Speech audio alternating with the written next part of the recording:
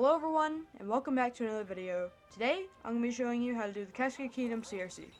I worked very hard in this video, so if you enjoy it, make sure to leave a like and comment down below. I will explain it later, here's the clip in full speed.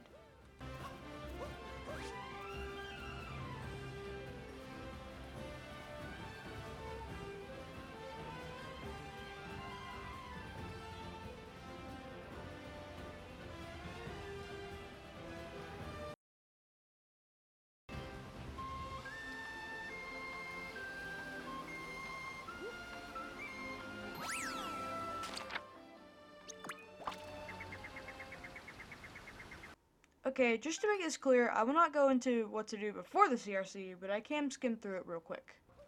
Captureless Cap Kingdom is easy, therefore I won't talk about it now. In Cascade, the first thing you'll, you'll do is clip out of bounds, and grab this chest right here. Then, afterwards, if you get the clip, just ground pound right back in. Grab the 2D moon with some out of bounds movement, then comes the good part. The CRC. First off, get on this rock, press Y or X on the second controller, yes, this is in two player, then start rolling. Here I have some lines to stay in your, well, I guess, lane. The reason for this is basically we're getting Cappy stuck behind the rock, and moving too far left or right could result in failure. Keep rolling down all the way until you are where the Odyssey would be normally after you've beaten the game. From here, we are going to line up the middle of Mario's head with this part of this rock. This is a little lenient, but still be very, very careful.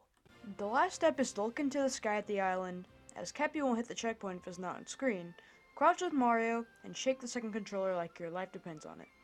If all done well, you've successfully completed the Cascade Kingdom CRC. Good job! And that's all there is for today. Hope you enjoyed this video. If you did, as I said in the beginning, like and subscribe if you're new, as I worked very hard in this video, and I'll see you all later. Upload schedules on the channel art. Bye!